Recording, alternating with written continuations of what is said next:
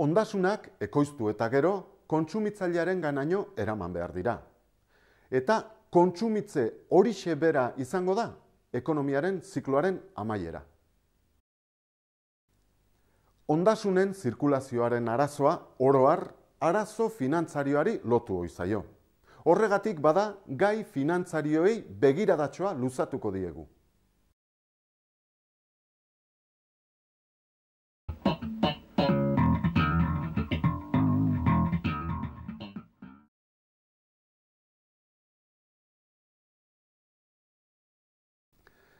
Ekonomiaren oinarri oinarrian dago elkartrukea.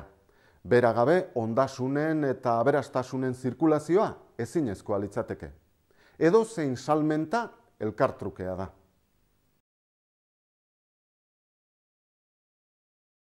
Elkartrukearen erroa lanaren banaketan dago. Hobeto ekoizteko eginkizunen banaketari ekin zitzaionean elkartrukea derrigorrezkoa bilakatu zen. Izan ere, espezializazioa zela eta norbanakoak berak kontsumitzeko baino ondasun gehiago ekoizten zuen.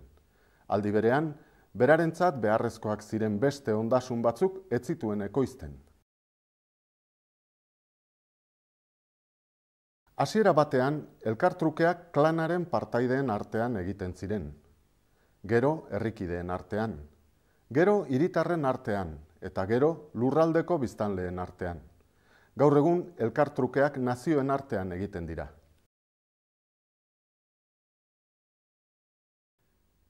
Elkartrukean parte hartzen dutenak bata bestearen gandik oso urrun daudenean edo saltzen eta erosten diren ekaiak oso ezberdinak direnean, neurri bateratuen arazoa sortzen da.